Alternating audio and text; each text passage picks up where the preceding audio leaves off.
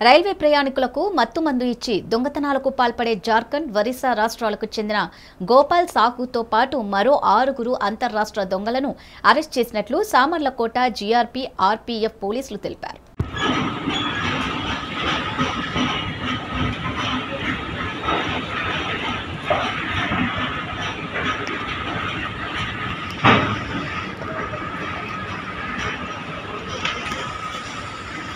బంగారం నూట డెబ్బై మూడు గ్రాములు ఇంకా రికవరీ రావాలి. పంపించారు సికింద్రాబాద్ అది కూడా ఉంటే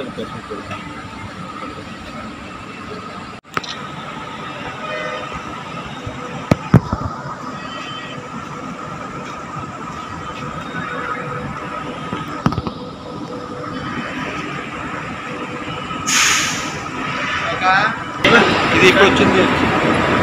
ఇప్పుడు వచ్చింది. ఇప్పుడు ఇద్దరు బావాలి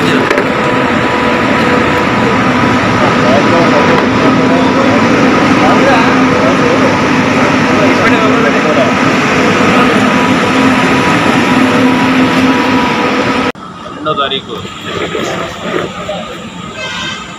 ఒక మన సామలకోట ప్రశాంతి ఎక్స్ప్రెస్ నందు ప్రయాణించే ప్రయాణికుడు ప్రయాణికుడికి ఈ మత్తు మా మత్తు వాళ్ళు మత్తు ట్యాబ్లెట్స్ ఇచ్చి మత్తు ట్యాబ్లెట్స్ ఇచ్చి ఆ ట్యాబ్లెట్స్ కలిపి ఒక మత్తు ట్యాబ్లెట్స్ ఇచ్చి అతను కోమాలోకి వెళ్ళిపోవడం జరిగింది స్పృహ తప్పి రాజమండ్రి రైల్వే స్టేషన్లో ఉన్న తర్వాత అతన్ని లక్కవరం పిహెచ్సిలో జాయిన్ చేయడం జరిగింది. దాని మీద మాకు ఇచ్చినటువంటి స్టేట్మెంటు మరియు వాళ్ళు ఇచ్చినటువంటి కంప్లైంట్తో పాటు స్టేట్మెంట్ ఎమ్మెల్సీ ఇంటిమేషన్ తోటి crime number forty five twenty two under section three twenty eight three seventy నైన్గా FIR register చేయడం జరిగింది. అంటే సూపర్ఫైంగ్ డ్రగ్స్ కేసు అనమాట ఈ డ్రగ్స్ కేసులో దీనిపైన మా ఎస్పీ గారు శ్రీ విశాలగుని ఐపీఎస్ గారు మరియు మా డిఎస్పీ గారు బీబీ నాగేశ్వర గారు తగు ఆదేశాలు ఇచ్చి ఎప్పటికప్పుడు ఈ రైల్వే బీట్లను ఎప్పటికప్పుడు నిరంతరం ఈ ఈ నైట్ గస్తీని పెంచడం వల్ల వీటి వలన కూడా మనకి పదమూడు ఐదు పదమూడు ఆరు రెండు వేల ఇరవై రెండవ తేదీ. తేదీన ఈ ముద్దాయి అయినటువంటి Bhopal Sahu Orissa state Kandia post Kandia Hat Charpada police station Kendrapara district Odisha state.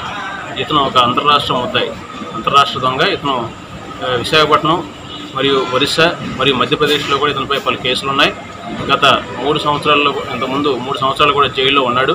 రెండు వేల సంవత్సరం నుంచి కూడా ఇతను నేరాలకి ఈ రైల్లో వచ్చే ప్రయాణికులని ఆసరాగా తీసుకుని వాళ్ళతో ఒక మంచిగా మాటలు మాట్లాడుతూ వాళ్ళతో కలివిడిగా మాట్లాడుతూ ఆ కూల్ డ్రింక్లో మెడికల్ షాపుల దగ్గర లోజోఫామ్ అనేటువంటి tablets vitamin two G tablets తీసుకొని ఆ ట్యాబ్లెట్స్ని కూల్ డ్రింక్లో కలిపి లేక కూల్ డ్రింక్ అయితే కూల్ డ్రింక్ లేకపోతే టీ.